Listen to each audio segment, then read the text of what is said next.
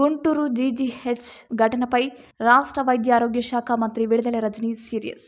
కిడ్నాపర్లను వెంటనే గుర్తించాలని ఏఎస్పీకి ఆదేశాలు. దోండగులపై కఠిన చర్యలు తప్పవు. ఆసుపత్రిలో నిర్లక్ష్యంగా వ్యవహరించిన వారిపై చర్యలు తీసుకుంటాం. కిడ్నాప్ ఘటనపై శాఖపరమైన దర్యాప్తు చేపట్టాల్సిందిగా వైద్య ఆరోగ్య శాఖ ఉన్నతాధికారులను ఆదేశించాం. ప్రత్యేక బృందాల ద్వారా కిడ్నాపర్ల కోసం పోలీసులు గాలిస్తున్నారు. పోలీసు దర్యాప్తు ముమ్మరం జీబీ చేశారు. జీజీహెచ్ పసిగందు కిడ్నాప్ ఘటనపై స్పందించిన మంత్రి విడుదల రజనీ.